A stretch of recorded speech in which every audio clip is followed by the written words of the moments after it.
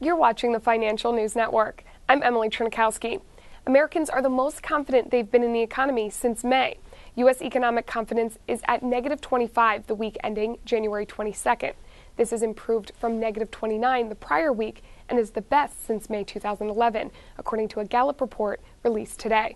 The Gallup Economic Confidence Index is an average of two components Americans' ratings of current economic conditions and their outlook on the economy. Gallup says Americans have grown steadily more positive about the current economic conditions in the past few weeks.